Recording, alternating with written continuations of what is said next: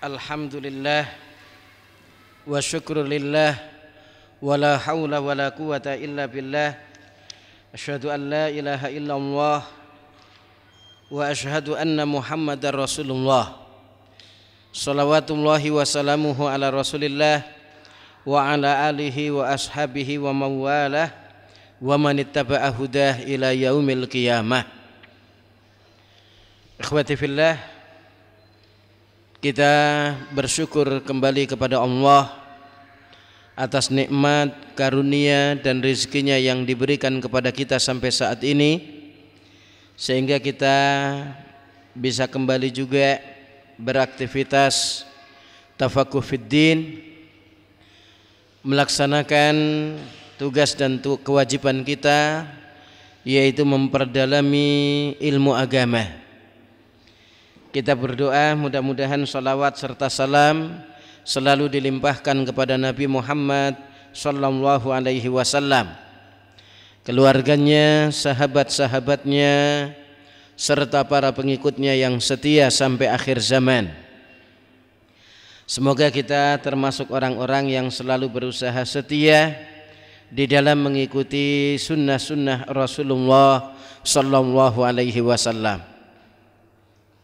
Baiklah kita kembali untuk melanjutkan pembahasan kitab Al-Adabil Mufrad yaitu adab-adab keseharian seseorang. Karya Amirul Mukminin fil Hadis Abu Abdullah Muhammad bin Ismail Al-Bukhari rahimahullah yang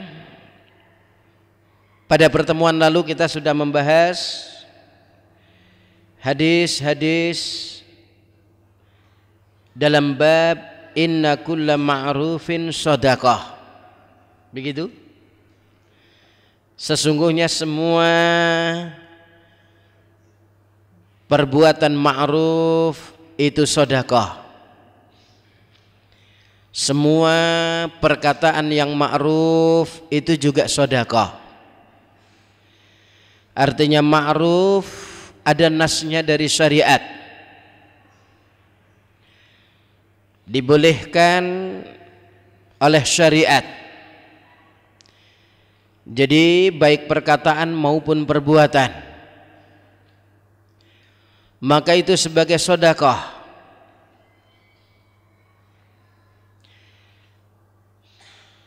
Pada pertemuan lalu kita sampai pada hadis yang keberapa? Ah? Bab baru. Berarti hadis 228 sudah ya. Hadis tentang ini. Taib. Sekarang bab baru berarti hadisnya 229. Bab imatatul adha yaitu menyingkirkan sesuatu yang bisa menyakiti. Sesuatu yang mengganggu. Imatah. Artinya menyingkirkan atau menghilangkan. Jadi Imam Al-Bukhari rahimahullah di dalam kitab Al-Adabul Mufrad membuat bab imatatul adha. Di antara adab keseharian seseorang itu adalah imatatul adha yaitu menyingkirkan sesuatu yang mengganggu sesuatu yang bisa menyakiti artinya menyingkirkan membuang jauh-jauh. Agar tidak terkena manusia. Ataupun makhluk yang bernyawa.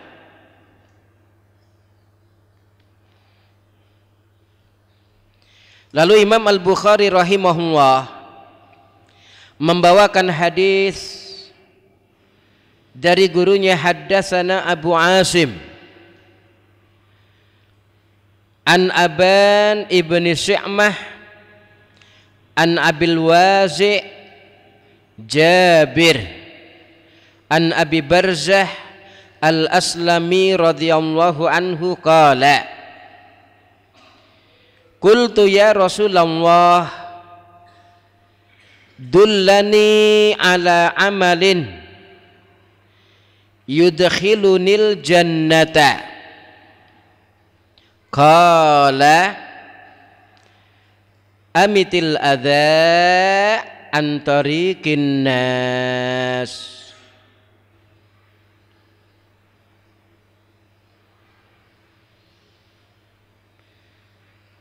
Jadi dari sahabat yang mulia Abu Barzah Al-Aslami radhiyallahu anhu beliau berkata, "Qultu ya Rasulullah" Saya berkata, "Wahai Rasulullah, dullani ala amalin." Tunjukkanlah atasku suatu amalan tunjukkanlah kepadaku suatu perbuatan yudkhilunil jannata. Yang mana perbuatan tersebut bisa memasukkanku ke dalam surga. Kala maka Rasulullah sallallahu alaihi wasallam mengatakan amitil adha antarikin nas singkirkanlah. Al adha hal-hal yang bisa menyakiti atau hal-hal yang bisa mengganggu. Antarikin nas dari jalannya manusia. Maksudnya jalannya manusia jalan-jalan yang dilalui oleh manusia. Ya maksudnya jalan umum yang dilalui oleh manusia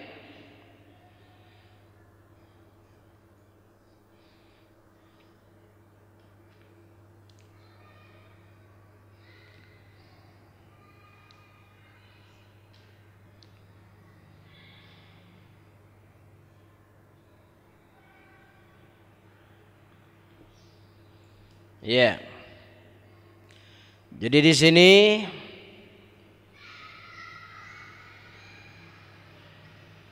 amitil adha antarikin nas disebutkan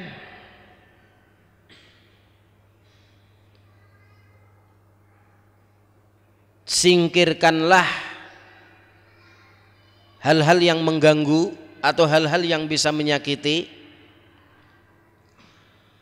maka terkandung di dalamnya beberapa hal. Pertama tidak meletakkan sesuatu yang bisa mengganggu manusia di jalanan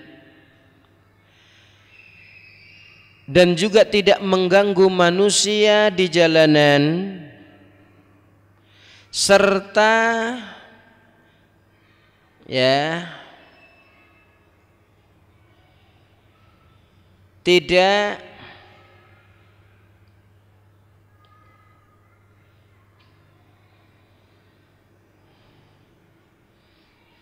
Menyakiti manusia, tidak meletakkan sesuatu yang mengganggu manusia atau tidak menyuruh orang untuk meletakkan sesuatu yang mengganggu.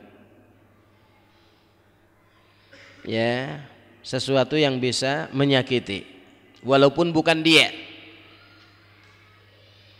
Maka singkirkan segala sesuatu yang mengganggu yang bisa menyakiti dari jalan-jalan yang dilalui oleh orang. Itu bisa memasukkan seseorang ke dalam surga. Karena apa?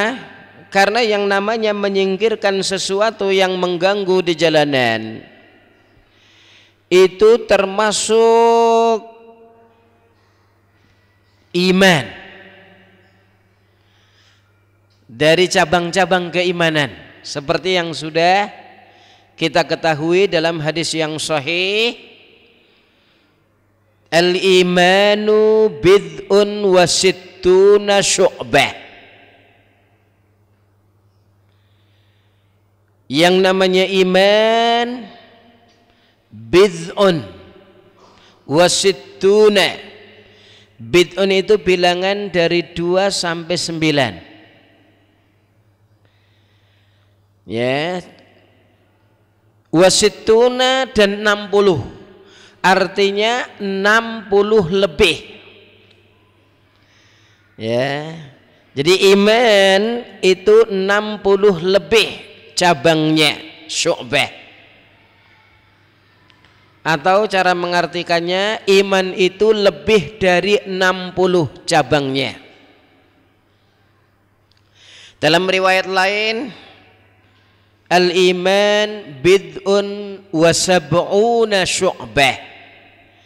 Iman itu 70 lebih cabangnya. Atau lebih dari 70 cabangnya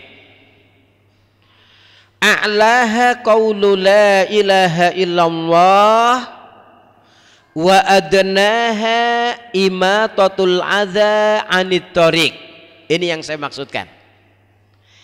Iman itu 70 lebih cabangnya atau lebih dari 70 cabang. Ya atau dalam riwayat lebih dari 60 cabang 60 lebih cabangnya. Yang paling tinggi tingkatan iman adalah qaulul la ilaha illallah. Perkataan seseorang la ilaha illallah tentu saja bukan cuma berkata la ilaha illallah akan tetapi kandungan konsekuensi La ilaha illallah. Makna la ilaha illallah Termasuk syurut la ilaha illallah. Sehingga menempati kedudukan yang tinggi. Sebagaimana disebutkan dalam hadis Bitokoh yang kita ketahui. Hadis bitokoh adalah hadis yang ma'ruf seseorang ketika ditimbang ternyata 99 sijil daftar yang dia miliki berisi dosa, maksiat dan kesalahan. Ya, akhirnya ketika diperlihatkan sijil ini kepada orang tersebut, udah binasa saya udah. Ya, nggak ada ampun lagi nih banyaknya segini kesalahan dan dosa-dosa saya. Akhirnya Allah memperlihatkan kepada dia bitaqah yang ada la ilaha illallahnya. Bukankah kamu masih memiliki ini? Lalu orang ini mengatakan ya Allah ya Rabb apa artinya bitokoh ini dengan 99 sijil yang saya miliki berisi kemaksiatan semua? Akhirnya ditimbang ternyata berat bitokoh yang ada la ilaha illallahnya. Ah, ini. Sehingga menempati kedudukan yang agung dan mulia dan merupakan cabang tertinggi dari keimanan. A'laha. Qaulu la ilaha illallah wa adnaha imatatul adha anit tariq. Dan paling rendah tingkatan iman itu adalah menyingkirkan sesuatu yang bisa mengganggu di jalanan yang bisa menyakiti atau bisa memberi sakit kepada seseorang. Entah itu duri entah itu beling entah itu paku pinus entah itu pecahan kaca entah itu batu lincip runcing atau kayu ataupun yang lainnya yang bisa menyebabkan seseorang sakit.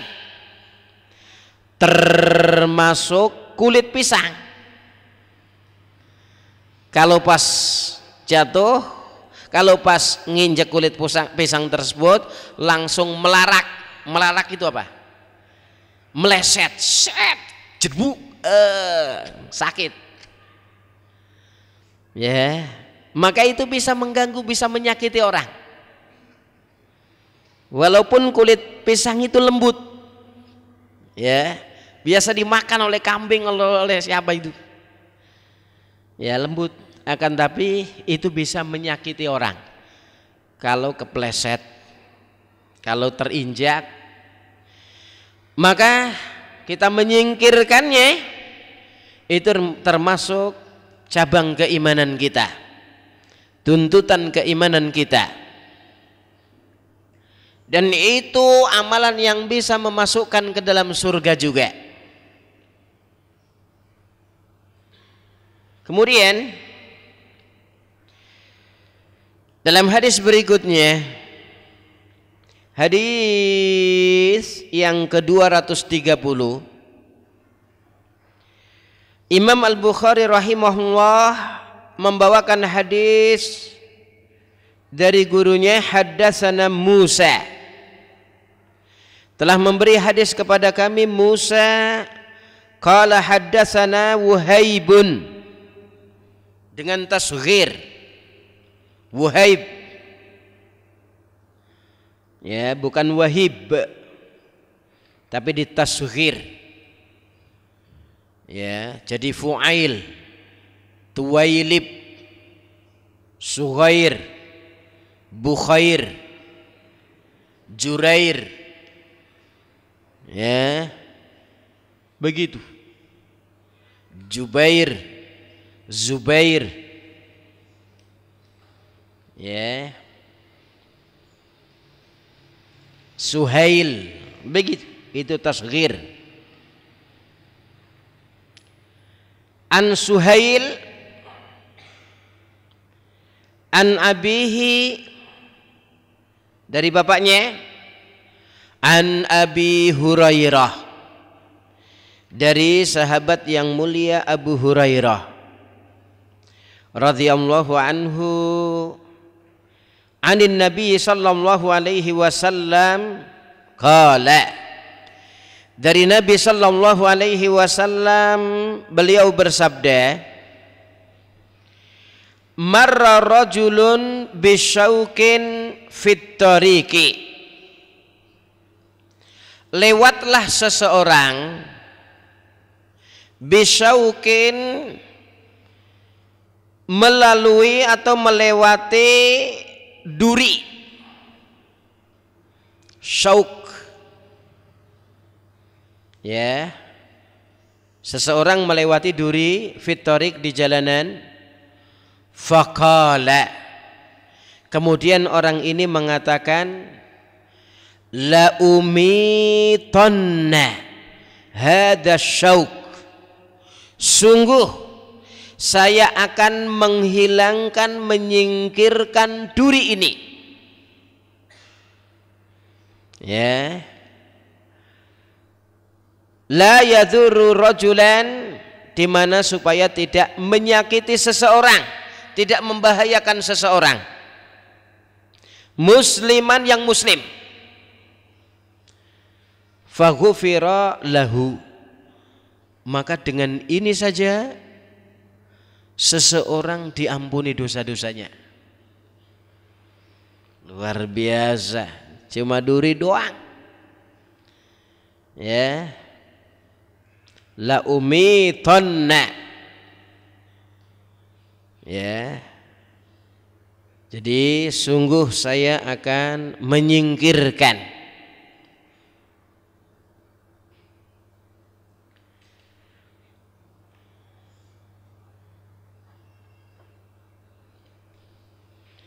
Asalnya adalah dalam Sahih Bukhari dan Sahih Muslim.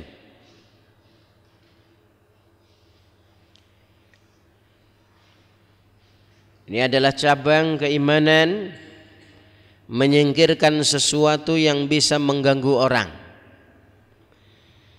Menyingkirkan sesuatu yang bisa menyakiti orang. Ya. Yeah. Misalnya. Walaupun bukan duri. Ada tai ayam. Ya. Atau telek incung. Eh? Ya lancung. Ya ada bilang telek incung ada lancung ya ada tai ayam Wah ini kalau kena orang tentu dia ya akan tersakiti marah-marah lah minimal. Uh, asem nah, begitu. Kecut ya gula lagi. Ya. ya. Artinya karena baunya lumayan. Ya. Ya, dikiranya coklat. Hmm. Baunya nggak enak ya oh telem segini. Ya maka sebelum kena orang dia bersihkan. Entah pakai tisu lalu dilap pakai kain yang basah jubinnya keramiknya. Ya mungkin kan ada banyak ayam-ayam orang ya di beberapa tempat. Masjid padahal. Soalnya masjidnya terbuka. Masjid LPK misalnya itu. Banyak ayam-ayam. Kadang. Ya. Mau dicekel potong nanti suruh ganti ya. Enggak juga kadang nelek gimana ya ya yang namanya ayam udah diusir juga datang lagi lewat mana? Apalagi bisa terbang ayamnya. Gede gede gede gede ya. nah ini. Kadang merobol lewat celah-celah begitu. Ya. Maka berusaha dibersihkan supaya tidak kena orang. Itu adalah cabang keimanan itu adalah amalan yang baik, akhlak yang baik dan menyebabkan seseorang bisa masuk ke dalam surga. Jadi tidak harus duri karena di sini lafat yang pertama al adha. Ya, amitil adha antarikin nas. Kata Rasulullah sallallahu alaihi wasallam. Sesuatu yang bisa menyakiti, sesuatu yang bisa mengganggu. Maka itu bisa menyebabkan seseorang diampuni dosa-dosanya masuk ke dalam surga merupakan akhlak yang baik. Karena akhlak yang baik sebagaimana yang sudah kita ketahui dari perkataan Imam Abdullah ibnul Mubarak rahimahullah. Salah seorang ulama besar pemilik kitab Zuhud yang lahir pada tahun 118 Hijriah meninggal tahun 181 Hijriah. Beliau mengatakan ketika berkata husnul khuluk yang namanya akhlak yang baik ya husnul khuluk yang namanya akhlak yang baik. Itu adalah bastul wajhi. Wa badlul ma'rufi. Wa kafful adha. Dalam riwayat lain talaqatul wajhi. Wa badlun nada wa kafful adha. Maknanya sama. Yang namanya akhlak yang baik pertama bastul wajhi yaitu menampakkan wajah yang menyenangkan wajah yang ceria wajah yang mengenakkan wajah yang membuat orang senang ketika memandangnya itu adalah akhlak yang baik. Jadi jangan menampakkan wajah yang membuat orang mangkel ingin mukul atau merasa tertantang kue nantang aku po? Karena wajahnya matanya melotot begitu. Maka jangan memperlihatkan wajah yang mengandung permusuhan, yang mengundang permusuhan. Jangan. Karena akhlak yang baik, husnul khuluq adalah bastul wajhi atau tolaqatul wajhi yaitu menampakkan wajah yang menyenangkan.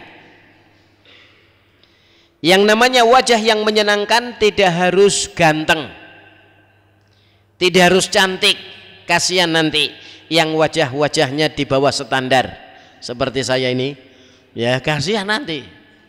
Ya maka yang namanya akhlak yang baik menampakkan wajah yang menyenangkan maksudnya bukan harus ganteng bukan harus cantik. Akan tetapi hendaklah wajahnya ditaburi dengan senyum. Nah, itu udah menyenangkan. Bagaimanapun jeleknya wajah seseorang, tapi kalau dia tersenyum, itu membuat orang lain tersenyum juga. Mungkin tadinya ngeliat itu ngeri. Oh, ada wajahnya seperti ini. Mungkin ya, mungkin itu wajahnya itu berantakan katakanlah habis kecelakaan dijahit. Eh matanya dijahit hidungnya dijahit bibirnya dijahit be. Orang lihat itu wajahnya seperti monster gampangannya gitu. Ya monster hidup. Tapi kalau dia tersenyum tadinya itu takut Astagfirullah, ada orang seperti ini. Artinya ada orang yang wajahnya seperti ini gitu loh. Tapi ketika dia kepada kita senyum, eh, ya, senyum juga kita. Ya, ya, ya, Pak. Aduh, ternyata dia senyum. Senyum itu menampakkan wajah yang menyenangkan itu. Walaupun pertama ngelihat wajahnya mengerikan. Oleh karena itu banyak-banyaklah senyum bagi orang-orang yang wajahnya di bawah standar. Apalagi yang di atas standar. Senyum. Percuma punya wajah ganteng kalau enggak pernah senyum. Percuma punya wajah cantik kalau merengut dan marah-marah terus. Istri mana yang betah kalau punya suami marah-marah terus, enggak pernah senyum dan suami mana yang betah? Kalau punya istri merengut terus. Ya. Dia kepengennya keluar terus akhirnya. Maka senyum. Begitu. Suami datang senyum. Supaya betah di rumah. Ya. Jadi kalau suaminya datang senyum. Suami sama istri juga senyum begitu Jangan ngapain senyum-senyum. Ya. ya.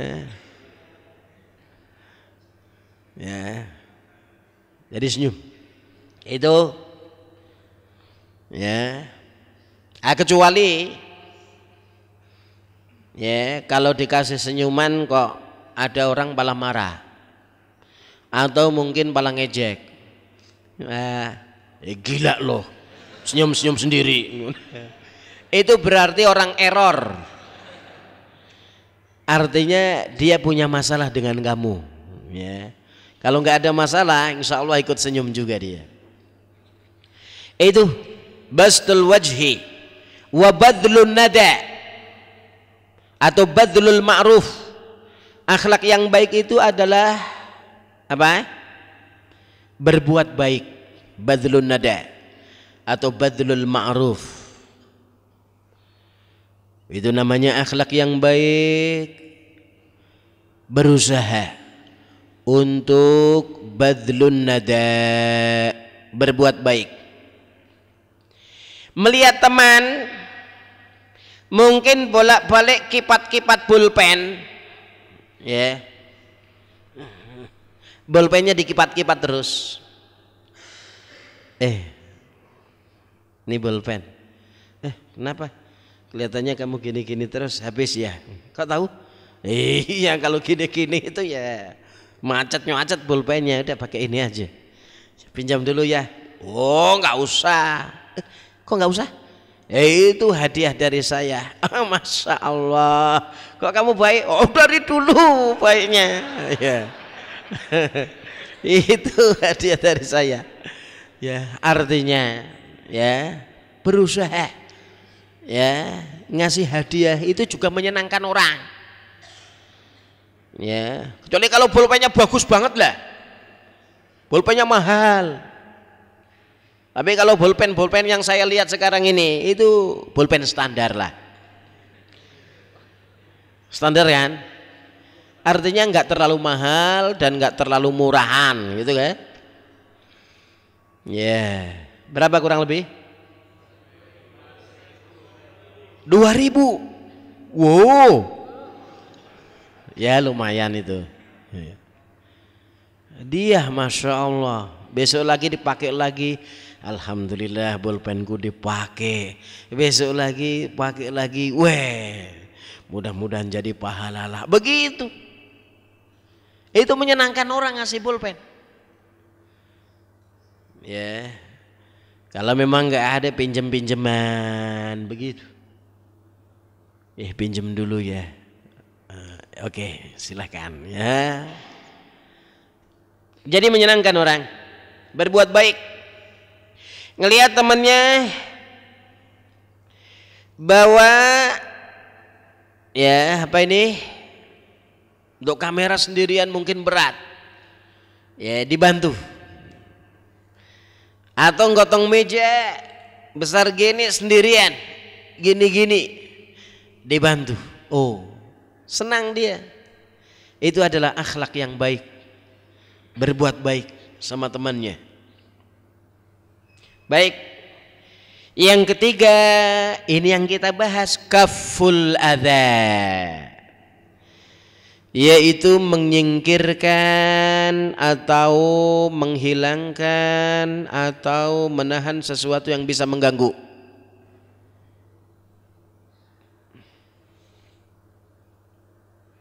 Itu akhlak yang baik. Kemudian Hadis yang ketiga dari bab imatatul adha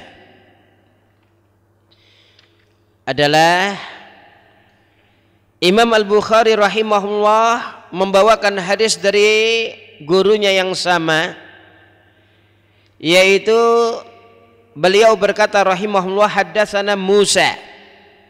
Qala haddatsana Mahdi an Wasil an Yahya ibni Uqail.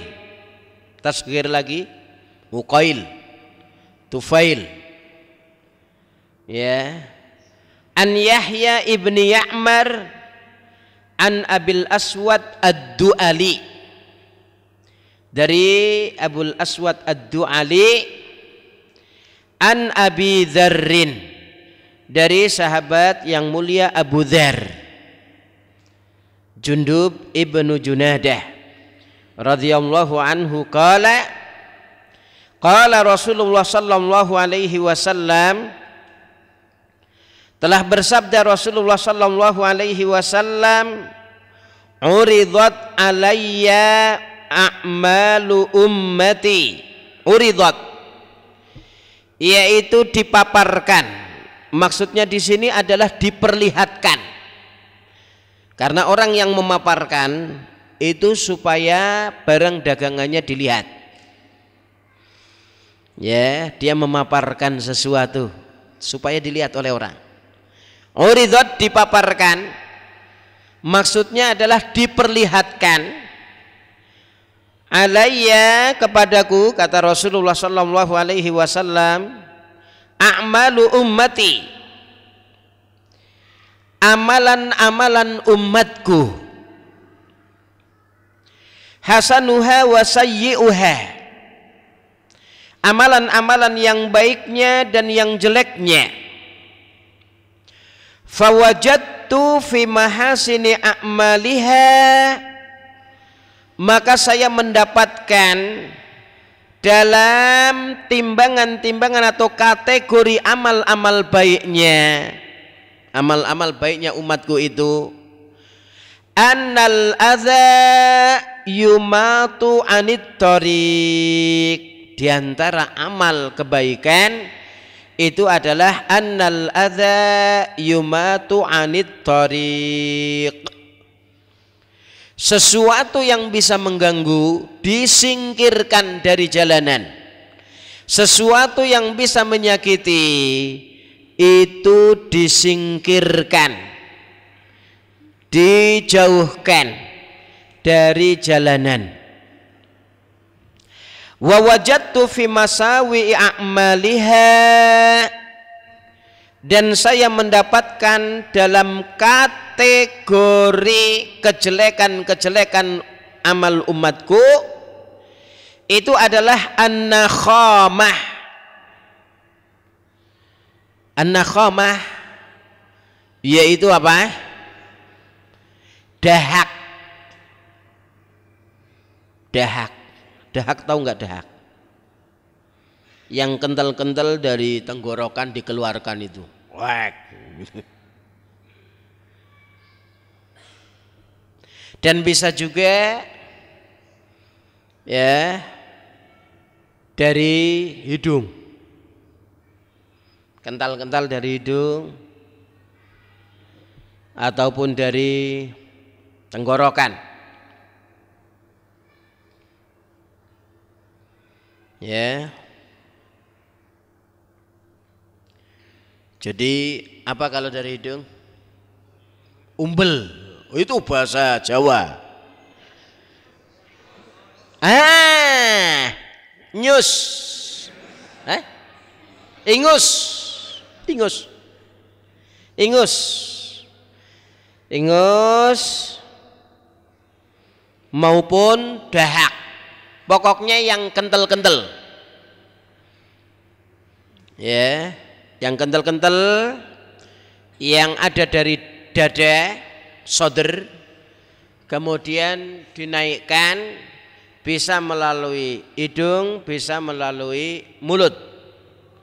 Kalau dari mulut namanya dahak. Kalau dari eh, hidung namanya ingus.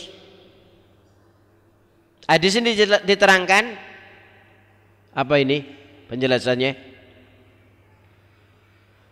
Wa fil lafzi an-nakhamah wa huwa ma yakhruju minas sadri wal anfi minal bulghum al asghar. Uh, al asfar maaf. Al asfar. Meh kaya ghain soalnya.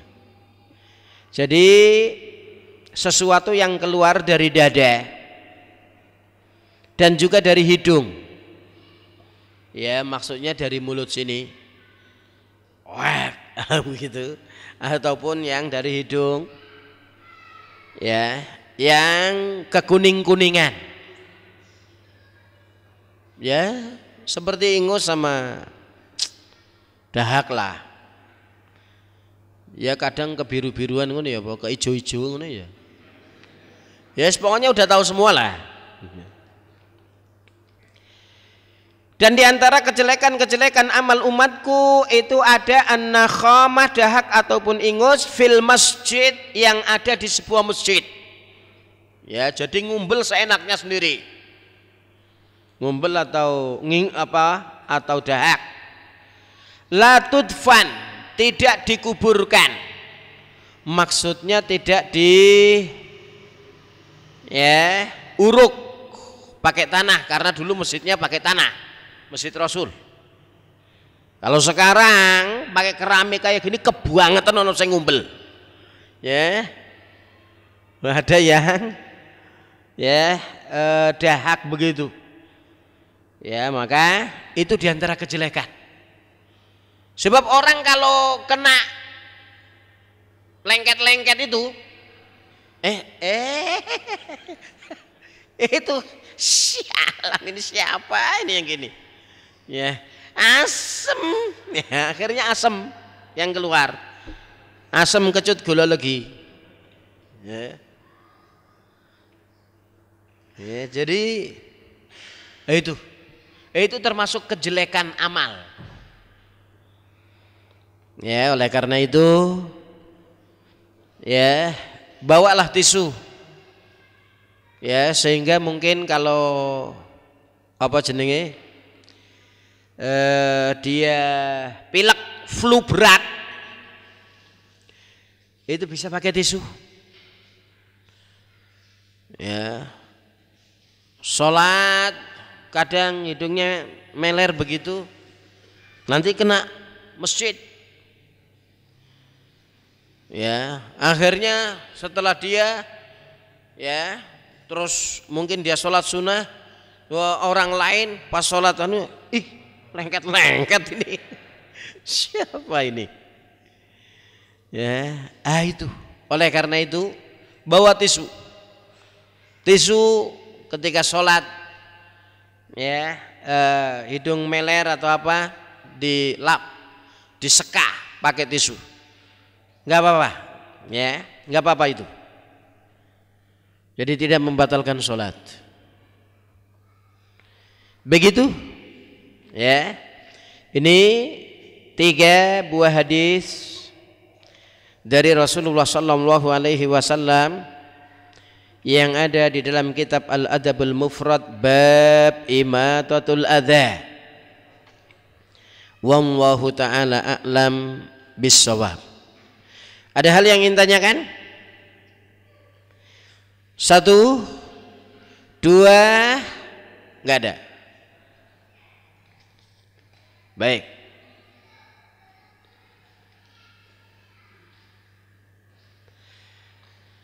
Apakah bermuka masam atau tak acuh termasuk tanda lemahnya iman saat dua orang muslim lewat berpapasan saling berucap salam tapi sama-sama bermuka masam. Gue. Ya. Jadi menyelisihi sunnah. Karena sunnah Rasul kita disuruh bermuka manis atau menyenangkan orang. Bahkan Rasul mengatakan tabassumuka fi wajhi akhika laka sadaqah. Dalam riwayat lain tabassumuka ala wajhi akhika sadaqah. Ya, tinggal senyum aja. Tinggal bibirnya ditarik aja. Itu sudah sodakoh. Jadi jangan dikedepankan. Hmm, begitu ditarik bibirnya itu sudah jadi sodako jangan merengut ya ya begitu. Itu gak bagus. Sialan. Berpaling muka dia dari saya.